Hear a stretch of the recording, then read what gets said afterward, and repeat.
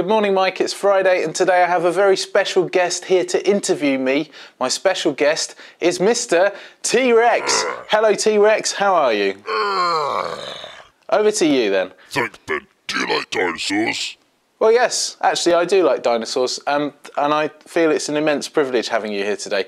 My son, in particular, absolutely loves dinosaurs, and he's going to be thrilled when he sees that you're on here with me. In fact, I wonder if would you mind saying hello to him? Yeah, of course.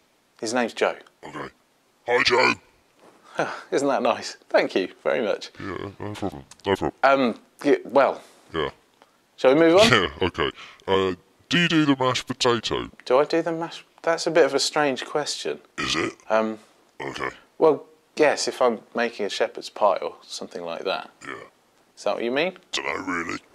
What do you think of your new vlog so far? Well, if I'm honest, it feels like I'm mostly just talking loud and saying nothing. Is this a man's world? well, it's certainly not a dinosaur's world, is it? Oh, very funny.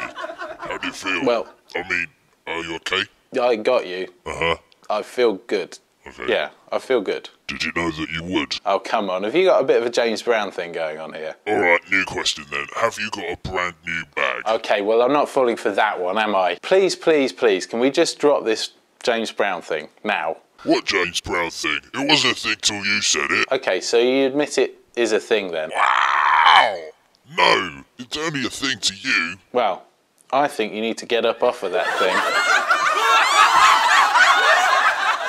Well, thank you, T Rex, for joining me today, and to everyone else, join me again next Friday for another complete waste of your time. Mike, I'll see you on Tuesday.